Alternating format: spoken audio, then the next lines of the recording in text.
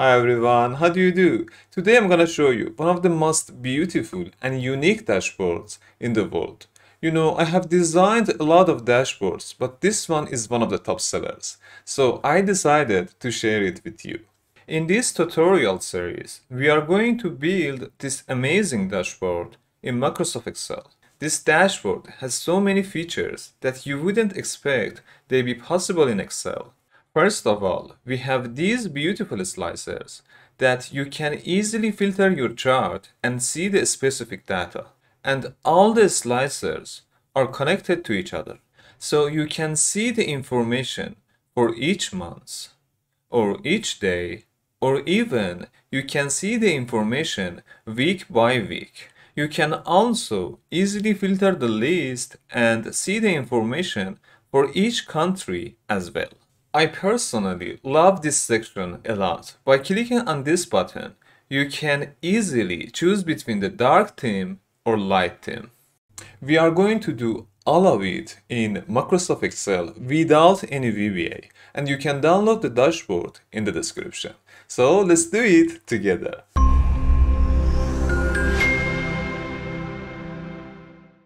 This table has the selling information for a food company for one year. This company sells four different products in France, Italy, Germany, and Poland, which are pasta, ketchup, garlic sauce, and olive oil. The company has told me to make a dashboard to quickly see the report for this table. For designing the dashboard, we need to create four pivot tables. So I add four sheets and rename them like this. Waterfall for this chart to monitor the sale amount for each product. Percentage for the sale amount percentage of each product. Country for drawing the map chart. And delivery to monitor the delivery status. Before we create the first pivot table, we need to convert this list to a table. As you know, if you convert it to the table, you can add new data to the list in future and pivot tables will be updated automatically. So press Ctrl T and click on OK. Remove the formatting and make sure that the name of the table is table 1. Select the waterfall sheet and select this cell. From Insert tab, click on Pivot Table and in the Table Range section, type the name of table. Click on OK drag the product to the rows section and the sale amount to the value section. I want to draw a waterfall chart, so click on pivot chart and select the waterfall chart. But there is a problem. For some reason, you can't create this type of chart with pivot table. To solve this problem, I am going to copy this table and paste it as value in this range and you have to make this range dynamic. So connect variable cells to the pivot table. In this cell, I type equal to this cell. If you notice, Excel automatically types in the get pivot data formula. Enter. Can we drag this formula to other cells? No. We have to modify the formula first. Click on the formula in the formula bar and in the argument click on the item. Instead of garlic sauce, we have to reference it to its cell, I mean E3, enter. Now you can drag it to other cells, but for grand total, since the formula is different, you have to address it manually. Let me add the product slicer to the sheet.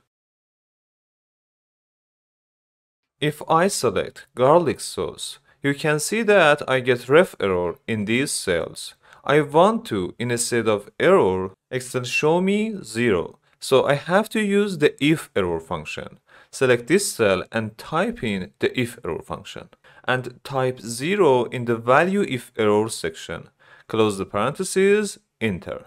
Now if I drag formula to other cells, I don't see error anymore. Okay, so far so good. Now clear the filter and delete the slicer.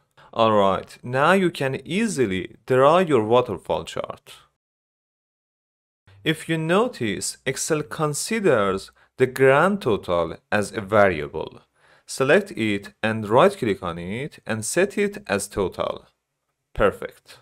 Let's simplify the chart and don't forget to format the variables as accounting.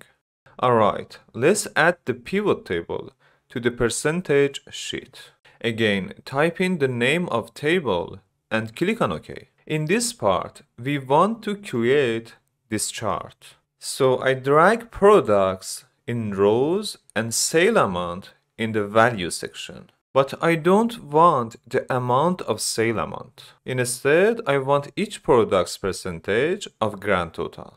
So right click on this cell and select show values as percentage of grand total. Since in dashboard, I want to reference the data of this pivot table into a table, I have to copy it and paste it as value in this range. It is time to make the variables in this range dynamic. I type equal to this cell and I have to edit the function. Select item 1 in the argument and address it to E3. To avoid errors, type in the if error function. Now you can drag it to other cells. I also want the maximum value from this range. So I type equal maximum of this range, enter. Now you can add the pie chart to the sheet. Okay, it is time to draw the map chart. Add a pivot table to the country sheet and this time drag region to the rows section and sale amount to the values section. Since we can't draw a map chart with pivot table data, we have to copy this table and paste it as value in this range. First, let me delete the grand total. We don't need it. But this time, I don't want to make this range dynamic. I want to show you another method. Draw your map chart. From the Chart Design tab, click on the Select Data icon. In the Opened window, in the Chart Data range, instead of E2 till F6, type in the B2 till C6. Click on OK. Now your chart is getting its information from the pivot table. By default, in the chart, Excel shows all the countries nearby the existing countries in the list. But I only want to see the existing countries. So right-click on the country area and select Format Data Series. In the Map Area section, select only regions with data. Perfect. Let me tell you why this time I am getting the information directly from the pivot table. If I add the region slicer to the sheet and select different countries, you can see only that country in the chart. Alright, for the last part, we want to draw the delivery chart. So in the delivery sheet, add a pivot table and drag delivery status into the rows section and sale amount into the values section. But this time, in instead of summation of sale amount, we want to count the number of products to see how many of them have been delivered or not. To do that, right-click on this cell and select Value Field Setting. And instead of summation, select Count and click on OK. Instead of numbers, we want each item's percentage of grand total. So right click on this cell and select show values as percentage of grand total. Since I want to draw a chart and filter its data in the dashboard, I have to copy this pivot and paste it as value in this range. And don't forget to reference each variable to the pivot table and edit the variables as we did before. Let me format variables as percentage. It's better. Now you can draw the donut chart.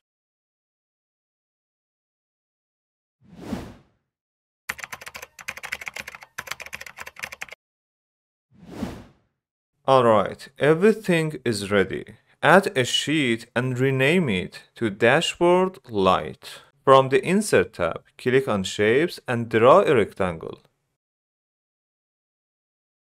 And change its color as you wish. Again, draw a rectangle and change its size like this. Change its color to white and remove the outline. Add the drop shadow to it and change its properties like this. Okay, make some copies of it and change their position and size like this. Also add this shape to the sheet and change its size and color. Alright, so far so good. Press Ctrl A and group all the shapes. Now we have to move each chart to this sheet. Select the waterfall sheet and remove outline and filling from the chart. Now cut and paste it here and adjust its position. From the percentage sheet, select the chart and make it a square. And also remove the outline and chart fill. Now cut it and paste it here. Repeat this process for the map and donut chart as well. Now it is time to add the slicers to the sheet. For adding days slicer, we need to add a column to the table and in this cell type in equal day, select this cell, enter and change their formatting to general. If you select the waterfall sheet, we don't have day column in the field section. So right click on the pivot table and refresh it. Now you can see that it is added. Alright, let's add the day slicer to the sheet.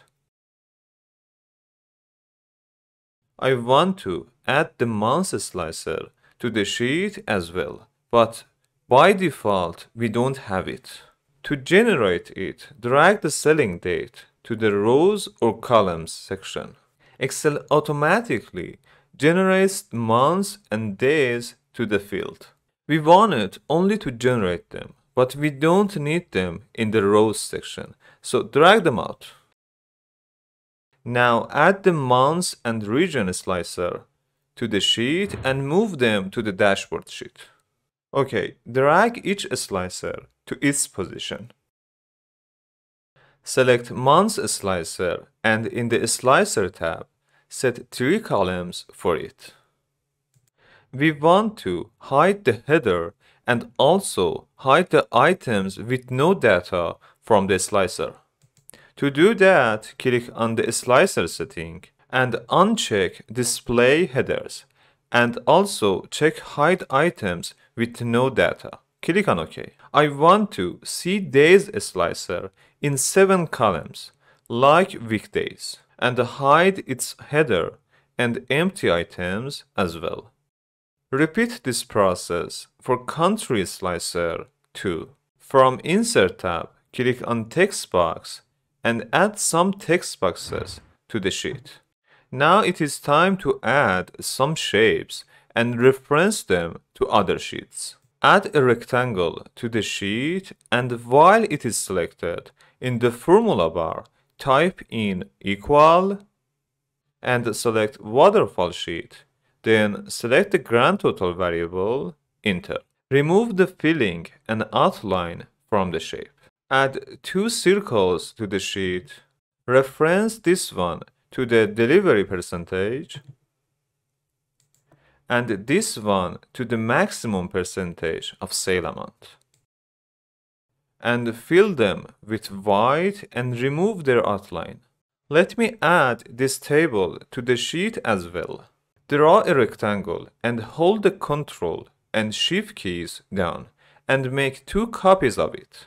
Now reference each shape to the product, its percentage and sale amount. Remember, you can't type in the formula inside the shape.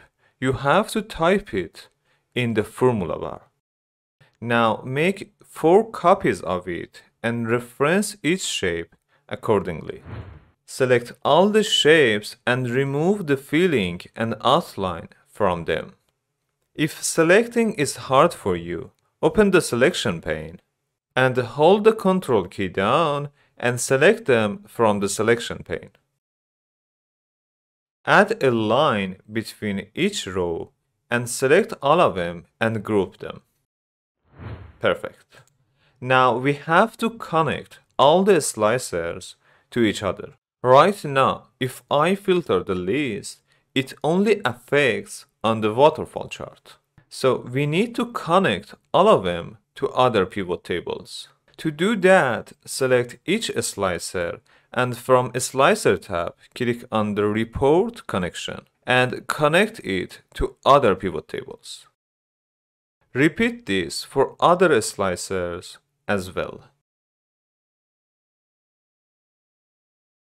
But we have a big problem. When I select different months in the calendar section, all the months start from Sunday. We need to fix this problem.